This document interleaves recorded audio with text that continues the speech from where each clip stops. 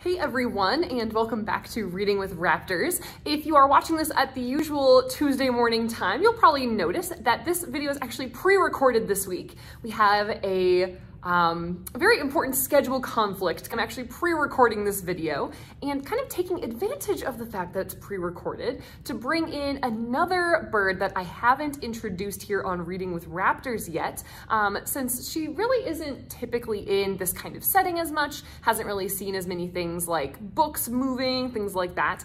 Um, so this is a one of our resident barred owls who we call Strix for reasons that we'll actually talk about as we get into our book here.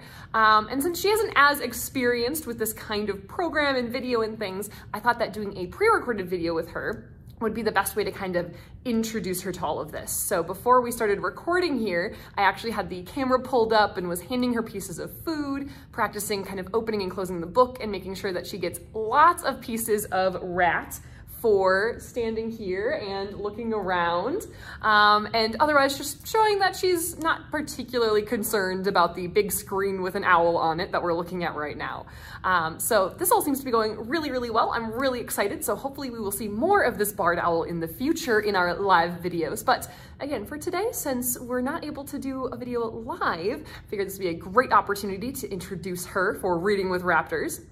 Uh, as always, though, we will have somebody kind of monitoring the comments as this is posted, and I know I'll be keeping an eye on them as well. So definitely feel free, if you're watching this on Tuesday morning, um, definitely go ahead and post comments as we go, and we'll be sure to respond to them. It just won't be here in the video.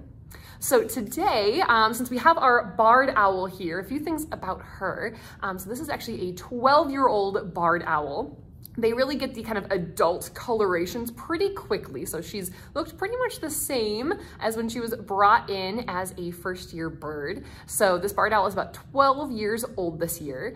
And she was actually brought in after some sort of collision that actually caused her to lose functioning of a very important part of her right eye.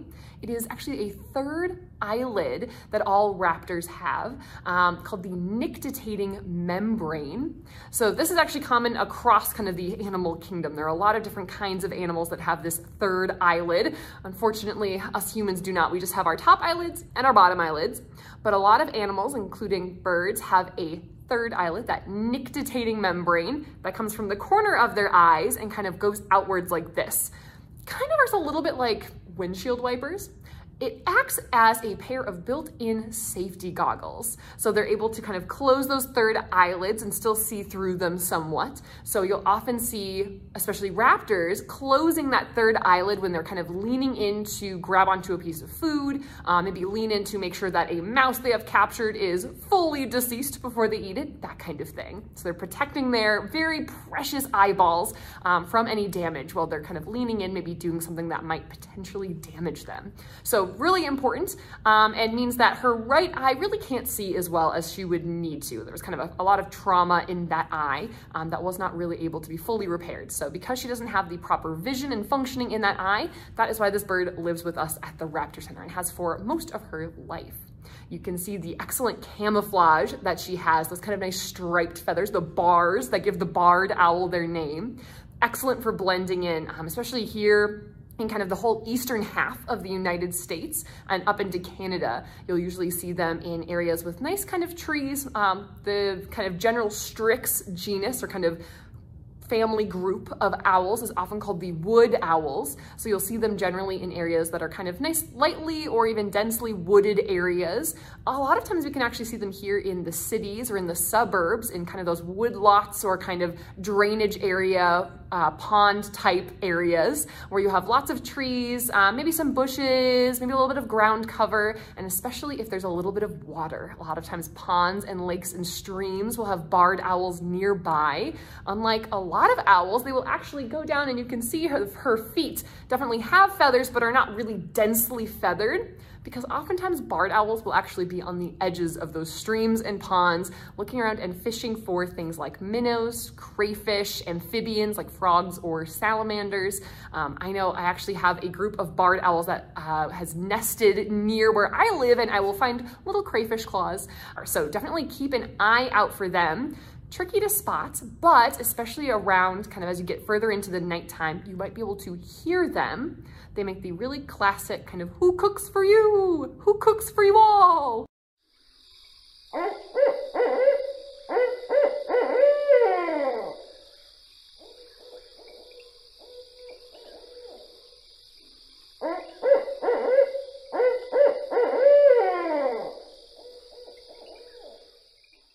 Um, so you can often hear them. I've been hearing them around sunset, sunrise, but oftentimes they're the most active in the middle of the night. So you can keep an ear out for those. With all of that being said, a little bit of background on the barred owl. Let's actually take a look. I found a book that will probably end up being a multi-part one, but I found this one and the illustrations inside were wonderful. So this is the Book of North American Owls. This is by Helen Roney Sattler, illustrated by Jean Day Zallinger. Um, and this one has a lot of really good, kind of dense information about owls. So we're not gonna get through uh, most of it. Kind of the whole back half of it is actually information about individual owl species, um, which isn't super fun to read out loud. So we won't do most of those, but I will definitely read the barred owl entry on that one. But we'll probably read the first half of the kind of uh, extra information here at the front of the book. And in a future week, we will revisit maybe with another kind of owl and read more about it. But you'll see once we look at the illustrations, there are a lot of really great kind of scientific illustrations as we go. So we're gonna take a look, but I'm gonna quick, as I raise this book up, I'm gonna go ahead and make sure that this bird gets a piece of food for seeing this book. Since this is something that's kind of new to her, I wanna make sure that she's getting lots of pieces of food, lots of reinforcement for standing pretty comfortably, um, looking around, really not showing too many signs of being kind of worried about book moving around, me talking, the big camera here. I wanna make sure that this is a really positive experience for her. So that way, it's really comfortable for her to do it again in the future, which is great. We're multitasking. We're recording and we're training as well. So thank you all for letting me do this today. So without further ado, this is the Book of North American Owls. And the first section here is this great illustration of a barn owl with two children kind of walking into an actual barn where it is. This is, what is an owl? The spring before I started school, my younger brother and I discovered that the barn was a perfect place to play on windy days when it was too cold to play outside. We were protected from the wind, and the hay kept the temperature warmer inside than out. The barn was also a perfect roosting place for the big barn owl that perched on its nest box high above our heads. Even though the owl seemed half as tall as we were, we weren't afraid of it. I was fascinated by its heart-shaped face and by the way it watched our every move with its big eyes, turning its head from side to side. But Dad didn't like the owl in his barn. He said it brought mites and that its droppings and pellets made a mess and spoiled the hay. He tried, with little success, to discourage us from playing out there. He said it wasn't safe. Dad may have been afraid the owl would attack us during nesting season. Owls can be quite belligerent when protecting their nests. Eventually, Dad tore the nest box down and the owl found another suitable nesting place nearby. I still heard its familiar calls just after dusk. Many people don't like owls because they are raptors, birds of prey that catch other animals for food. At one time, farmers shot every owl they saw because owls sometimes killed chickens and geese. Most people, however, are as fascinated by and respectful of owls as I am. Pictures and stories show us that people have, we'll finish up on the next page, but here's those kids in the barn again with that barn owl. And here is a barn owl with a mouse. Kind of confusing with barn owls and barred owls. Kind of confusing names. But we're about to talk about some other names for these owls that might be a little bit less confusing. People have always been captivated by these unusual birds throughout history. Many ancient peoples believed that owls were spirits and had magic powers and often worshipped or feared the birds. Pictures of owls were drawn on the walls of caves 18,000 years ago by ancient Europeans and by prehistoric Native Americans in Tennessee. Today, the owl is considered a symbol of wisdom, maybe because of its large, staring eyes, or perhaps because it usually sits quietly, observing everything that goes on without making a sound. There are a lot of things to admire about owls. If it were not for owls, there would be much less food for humans to eat. Owls destroy enormous numbers of pests, such as rodents and insects, that eat crops and damage grain.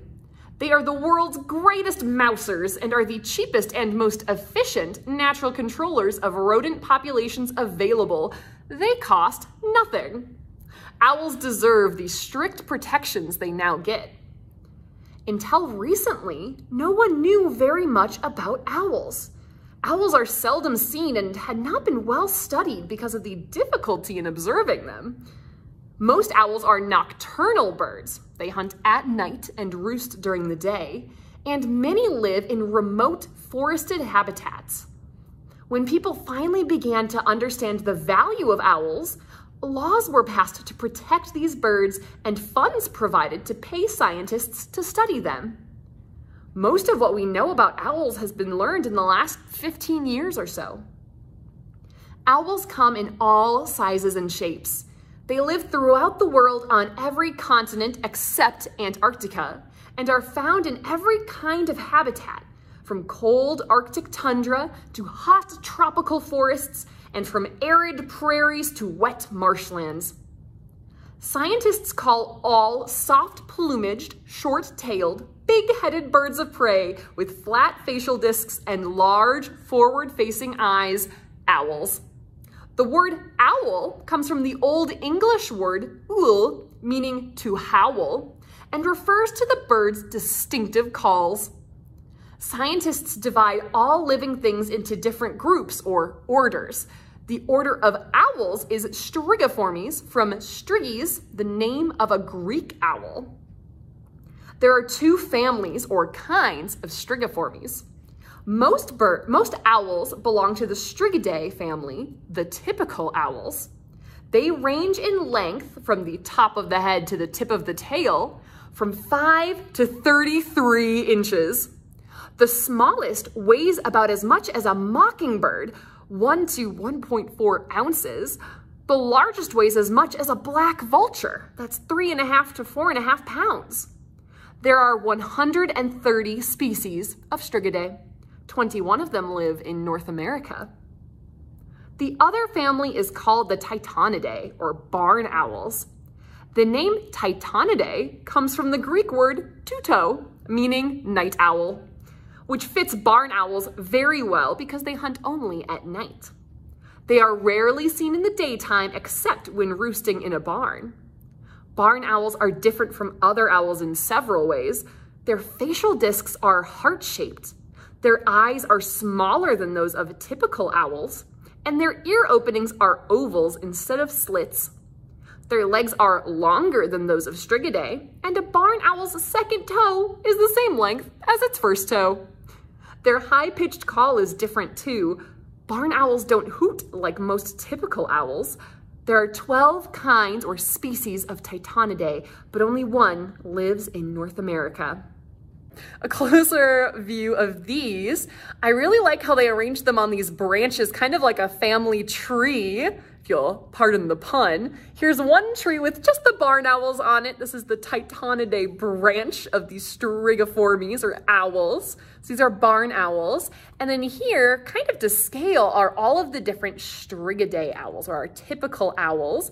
You can see the barred owl down here, compared to uh, the barn owl that we have up over here. You can see great horned owls and great gray owls, snowy owls, even down to our smallest owl, the elf owl. So these are all of the owls that live here in North America, here on this page.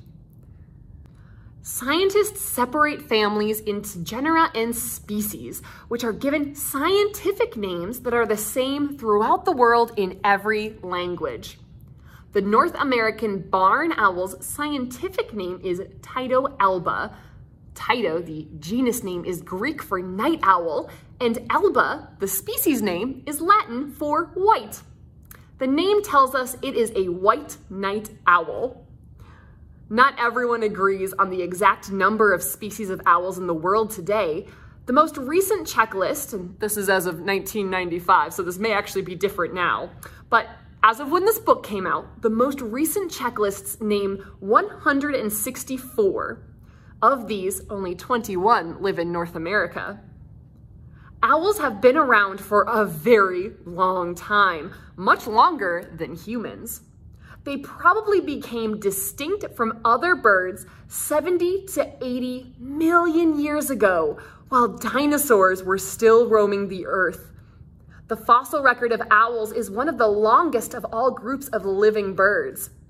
The owl generally accepted as oldest is Ogygoptynx. There's a pronunciation guide. Here's what it looks like. Ogygoptynx. It was named for Ogyges, the Greek mythical king of Thebes, and the Greek name of an owl, Tynx. It lived in Colorado more than 60 million years ago. We can't be sure what it looked like because it is known only from an ankle and foot, but these parts are very similar to those of the modern burrowing owl. The burrowing owl eats insects and reptiles. Scientists think Ogygoptynx probably also ate insects and reptiles. Fossil evidence suggests its ancestors may have come from Asia. So here's some detail of, this one's an example of the barred owl, or uh, excuse me, the barn owl. So here's what it looks like with feathers, but underneath here are, here's kind of what its head looks like. So you can see how huge that beak actually is. And here's the big flap that covers up the hole for its ear. Here is actually in head of a more typical owl with kind of the rounded facial shape. And here are its ear openings that are asymmetrical. So one of them opens up here and the other one opens down here. This is pretty typical of a lot of our typical owls, especially some of the smaller owls like our boreal owls and saw-whet owls. But you'll also see this on the skull of the barred owl like the one that we are seeing right here. Underneath all those fluffy feathers are some very big holes for the ears. Here also is a skeleton of an owl. I won't point out all the different parts, but here is kind of a how, how that skeleton actually looks. So underneath all those fluffy feathers, birds actually have some very long legs and some very long wings. Their actual bodies with their torso and their pelvis are really quite tiny. A lot of times people ask me about pictures and videos of birds showing off those super long legs, and I always tell them that bird legs are much longer than what it looks like to us. Right now, when we look at this barred owl, it looks like there's just these tiny little feet sticking out, but really those legs are super, super long underneath all that fluff. So here's what that actually looks like under there. The earliest known barn owl, Sophiornis, lived in France about 24 million years ago. The largest barn owl, Tyto riveroi, lived in Cuba 30,000 years ago. It was between two and three times the size of barn owls living in Cuba today.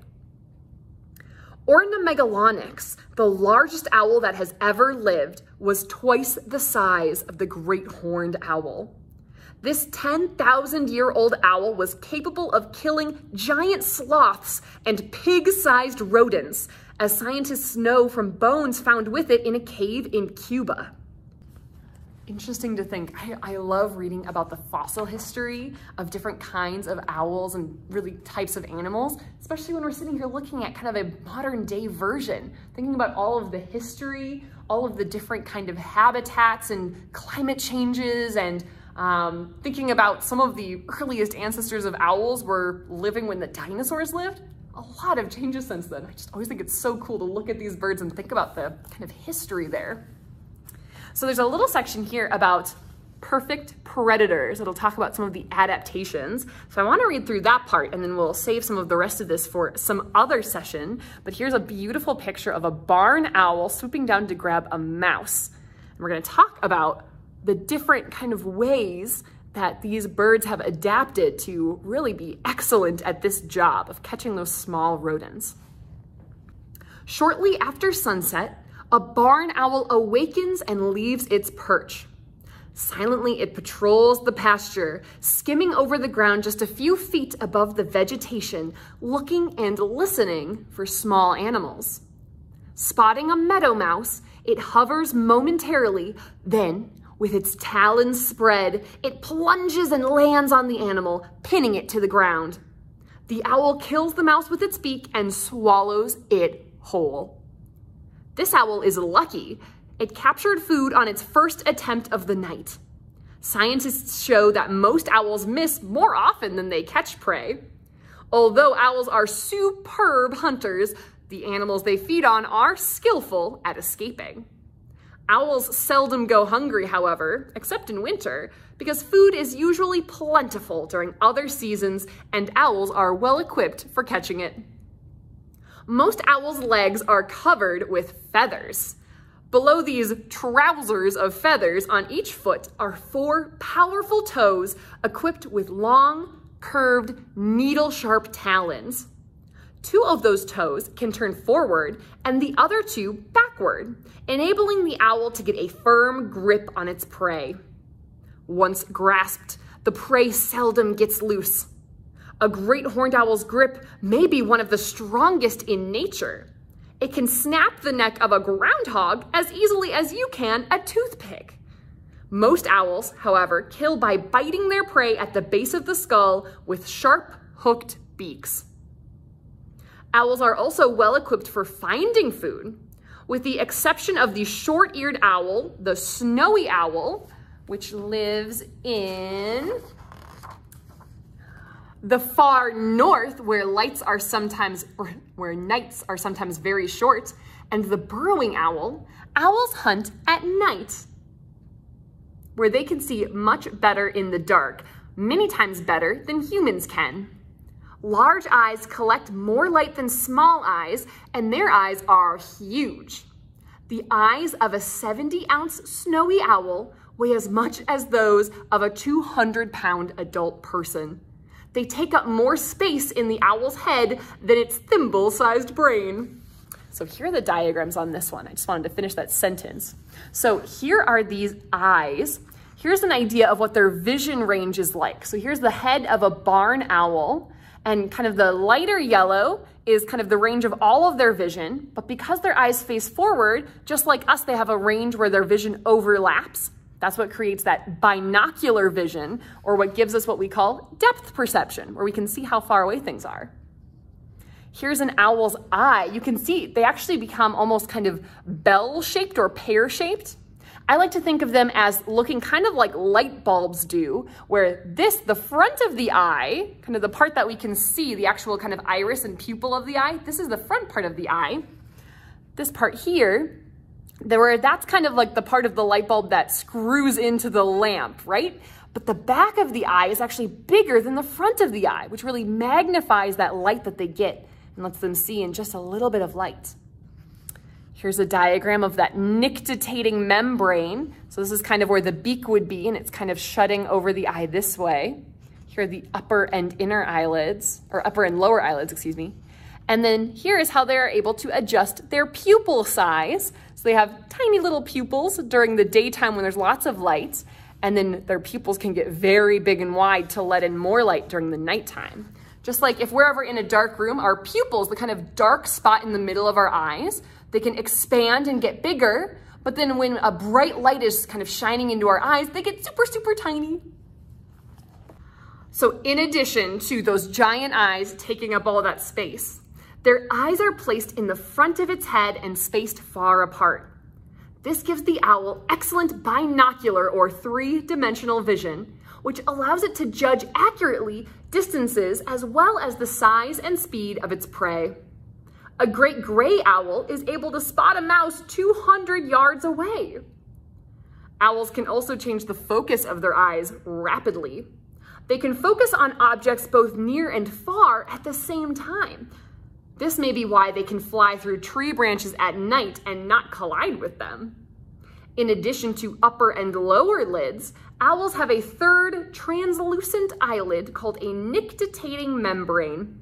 This membrane keeps the eye moist and may give protection from damage during struggles with prey. Tests show that some owls can even distinguish between colors, which I'll add is kind of important because usually for most eyes, and this is true with owls as well, if you're seeing things during the day, your eyes usually focus on color vision because you have lots of daylight, so you can see all those colors. But oftentimes, if you're an animal who's hunting a lot at night, you need to focus on night vision. And you can't have too many of both. You need kind of one kind of vision or the other. Lots of color vision or lots of really good nighttime vision. So usually it's a little bit of a trade-off, but some owls can still see some colors. So they're able to kind of do a little bit of a trade-off where they can still do a little bit of both. See really well at night, but still see some colors during the daytime.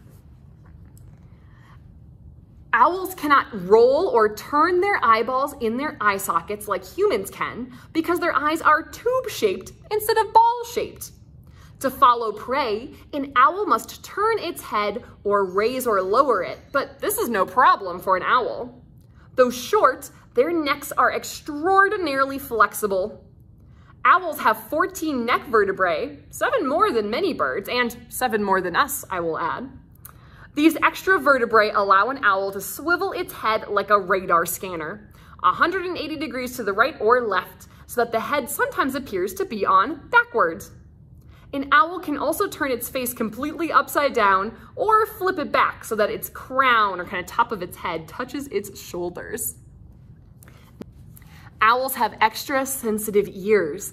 Their hearing is probably among the best in the animal world. Some species depend more on hearing their prey than on seeing it. A great gray owl can hear a beetle running through grass a hundred feet away or the squeak of a mouse a half mile distant. Most owls' external ears are large slits hidden beneath their facial disc. The facial discs are made of long, soft-edged feathers fastened into the rims of the ear slits. Though the facial discs are what make owls look like owls, their main function is to, ask, is to act as dish antennae. They trap sounds, concentrate them, and funnel them into the ear. An owl can turn or move its facial discs to improve the reception. So they kind of act like if you actually kind of take your hand and kind of put it behind your ears, it works best if you do two at once, but I'm holding the book in one hand. But if you kind of cup your ears if you kind of cup your ears like this, it kind of funnels sound into them.